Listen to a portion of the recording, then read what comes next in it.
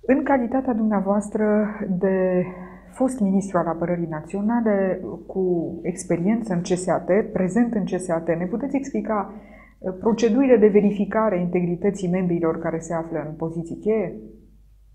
Mm, în ce sens vă referiți de verificare? Deci, de exemplu, un ministru care sau un uh, demnitar care trebuie să aibă acces la informații uh, secrete, indiferent de nivelul de clasificare a informațiilor, trebuie să aibă un certificat uh, de la statul român că are acces la astfel de informații. Certificatul ORDI se numește.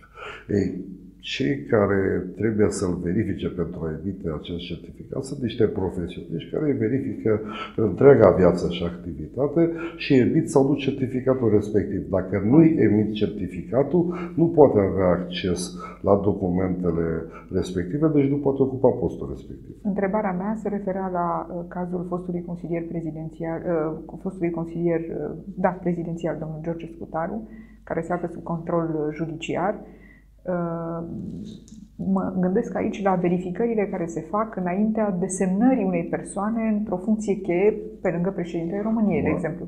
Ă, o persoană care este cercetată conform Constituției României este o persoană nevinovată care nu are nicio vină imputabilă de către statul român, de cetățenii României. Ori ă, acea persoană poate să acceadă în orice funcție. Nu o să spună nimeni niciodată fiindcă există o prezumție și fiindcă urmează să facem o cercetare, nu numi o persoană nu știu unde. Nu, dar în momentul în care persoana e clar că a, are ceva în trecutul ei, uh, are o problemă uh, care nu-i permite accesul la o astfel de funcție, atunci vei primi de la, cei, la serviciile care se ocupă cu cercetarea uh, vieții oamenilor, vei primi o adresă în care, o notă în care se va spune, datorită faptului că vă, nu vă recomandăm.